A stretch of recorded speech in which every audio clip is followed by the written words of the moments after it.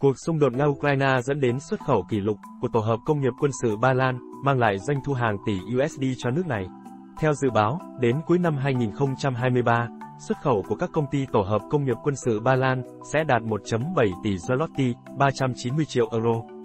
Marcel Milos, người phụ trách chuyên mục của ấn phẩm Ba Lan Zenit Gazeta Prona, viết trong bài báo của mình rằng, đây sẽ là một kết quả kỷ lục, là hậu quả của cuộc xung đột đang diễn ra ở Ukraine.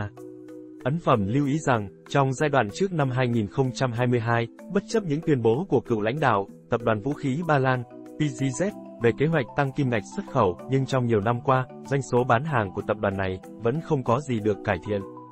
Có rất ít thay đổi theo chiều hướng tích cực trong những năm qua. Vào năm 2021, công ty đã có thể xuất khẩu các sản phẩm trị giá hơn 700 triệu zloty, hơn 161 triệu euro, tương đương với khối lượng của mỗi năm trong giai đoạn năm 2018 đến năm 2020, nhưng ít hơn so với năm 2017.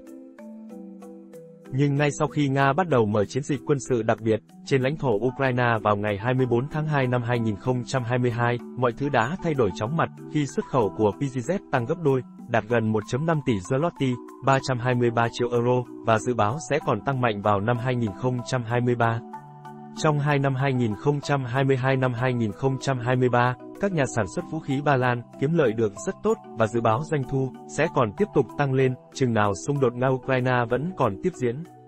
Đóng góp đáng kể cho vấn đề này là hợp đồng cung cấp 54 khẩu pháo tự hành AS Scrap, con cua, cỡ nòng 155mm, với số tiền 2.6 tỷ zloty, 600 triệu euro. Ngoài ra, quân đội Ukraine cũng mới đặt mua 10.000 khẩu súng trường tấn công GAOT, với giá 10.000 zloty mỗi khẩu, 2.3 nghìn euro. Tổng giá trị hợp đồng lên tới hơn 23 triệu euro, gần 25 triệu đô la Mỹ. Ông Marcel Milos cho rằng, người Ukraine có thể sẽ cần thêm một số hệ thống pháo tự hành Krab và súng trường tấn công loại này. Tuy nhiên, tác giả cũng chỉ ra điều đáng buồn là trong năm nay, vẫn chưa có thêm hợp đồng mới nào được ký kết, có thể là do quan hệ giữa Kiev và Warsaw gần đây đang xấu đi nghiêm trọng. Ngoài ra, trong suốt gần 2 năm qua, loại tổ hợp phòng không vác vai, MANPADS, di động, PPZ Apiolun, còn gọi là GRM-M, của công ty Mesco, cũng đã trở thành một sản phẩm xuất khẩu thành công của tập đoàn PGZ. Chi phí của một tổ hợp MANPADS này là hơn 1.8 triệu euro, với giá mỗi quả đạn là hơn 500.000 zloty, khoảng 125.000 đô la Mỹ. Vào năm 2022, những tổ hợp MANPADS này đã được Lithuania và Na Uy đặt hàng.